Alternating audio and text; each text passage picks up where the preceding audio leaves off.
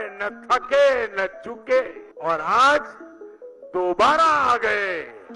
अगर मैं पाकिस्तान का कोच बना तो बिल्कुल बताऊँगा। अभी तो अभी क्या बताऊँगा? जब कंगना फ़िल्म में होती है तो कितने लोगों को दिक्कत होती है? ये आप खुद नोटिस कीजिए। मैं आपकी तरह किताबें पढ़ के नहीं आता हूँ लेकिन ग्राउंड की रियलिटी महसूस करके।